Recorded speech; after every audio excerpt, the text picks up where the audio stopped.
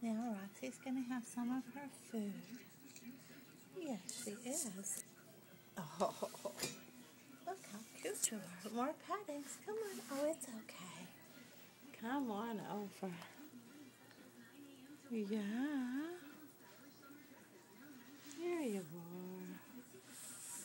There's Roxie. She loves her paddocks. Oh, yes, she does. Yes, you do. Yes, you do love your paddocks. Very good girl. Little girl, too. Look. Look how little she is next to my hand. Come on up here. There she is. You should put your head right on the telephone. Yeah, now it's all dark in here too. There, that's a good thing.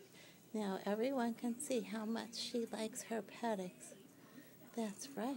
What a good girl you are. Headbutting the phone and just being so friendly in general. Yes, you are. Yes, you are. Very, very affectionate young lady. But Roxie takes a while to get to know you. And that's what everybody needs to know. This cat cannot be just let loose in your house because she'll run and find a hiding place and then she'll stay in there, won't you? Yeah, then you'll stay in there. Yeah, she'll stay right and hide.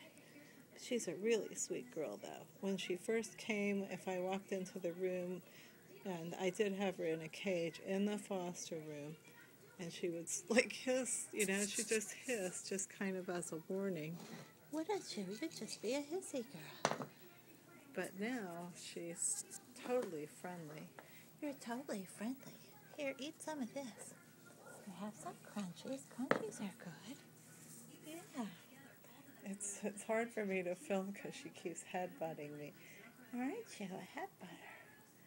Yeah. She says more and more. And also, what I did with when I first come on down, Curly. Come on down. So you can see she loves other cats, adores them. Really, really, really adores them. It's okay, baby. Come on down. Come on. She like just constantly, you know, just to to the point where um, you know, Curly, my other cat's just like, okay, I've had enough, and she, she'll like walk right next to him, like like a kitten to a mom cat. So it's it's kind of it's kind of funny, and she is uh, definitely submissive. She's not at all, um, you know, antagonistic, other than just wanting to be with other cats all the time. You can kind of get an idea of her size too next to him. She's very, uh, very petite, aren't you?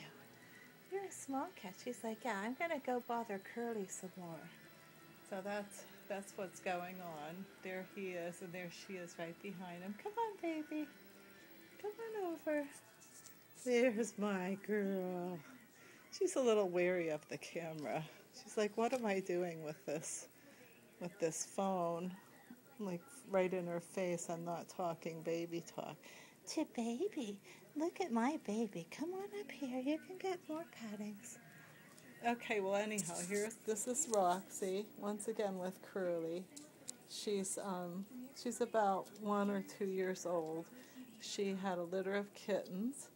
She has uh, she has feline AIDS, but obviously she's in very good health, um, and she does take longer to um, you know to get acquainted.